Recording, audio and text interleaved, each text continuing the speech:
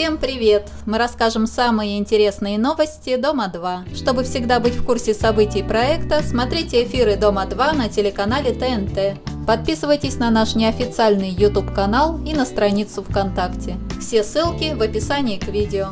Новый участник Андрей Назаров сделал свидание для Елен Каминской. Девушка пишет, было безумно весело, эмоционально и интересно друг с другом. Перед мужским голосованием Майя Донцова собирала заговор против Дениса Баранова. Но за ворота отправили не его, а Дмитрия Климашова.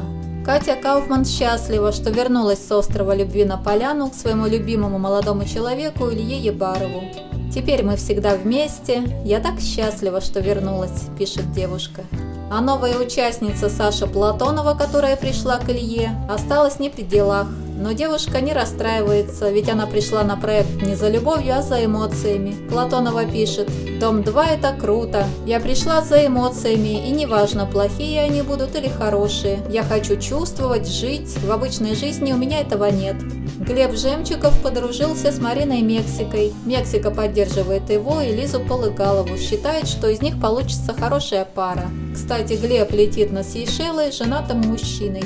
Но он все-таки добрался до нотариуса и оформил на Олю ветер доверенность. Теперь она сама будет заниматься разводом. А Оля объяснила своим подписчикам, почему она стала мало рассказывать о своей личной жизни. «Знаете, когда человек слишком долго был открыт перед всеми, хочется тишины», – пишет Ольга. «Поэтому я не рассказываю о своих проблемах, о ребенке, о разводе. Многие это понимают, спасибо им. У меня такой период в жизни. Обещаю по чуть-чуть с вами делиться своей жизнью, но позже. А на Сейшелах Олег Бурханов теперь находится в паре с Юлией Тепловой.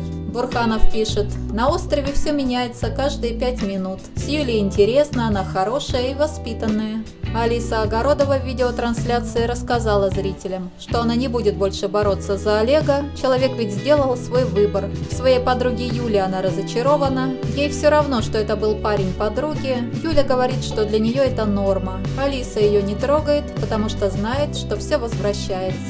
Лиза Кардабовская объяснила, что с Олегом Бурхановым они просто хорошо общаются, что зря все вокруг думают, что она с ним флиртует. Девушка пишет, «Вечно меня приписывают к кому-то. Общаюсь хорошо с Олегом, все, падшая женщина. У меня куча друзей-мальчиков, и я всегда считала нормальным прикалываться с ними, поддерживать друг друга и прочее. Думайте про меня что хотите, мне просто скучно». В интернете появились скриншоты переписки Марины Мексики и Никиты Кузнецова. Эта переписка доказывает, что у ребят был интим перед тем, как Марина Мексика уехала с острова. Андрей Чуев рассказал своим подписчикам, что до рождения дочки Лизы он очень хотел сына. Большинство отцов хотят сыновей, написал Чуев.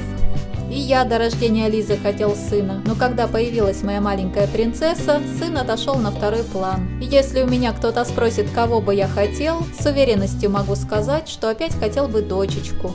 Даша Пынзарь в своем микроблоге опозорила Ольгу Бузову. Девушки отдыхали на дне рождения Марии Погребняк. Ольга Бузова исполнила для именинницы песню, а Даша выложила в сеть ее позорное выступление. Ольга Бузова предстала перед зрителями далеко не в лучшем виде. Она демонстрировала пошлые движения, к тому же Оля пришла на вечеринку в тонкой блузе, не одев под нее белье. И в итоге ее прелести оказались на виду у всех.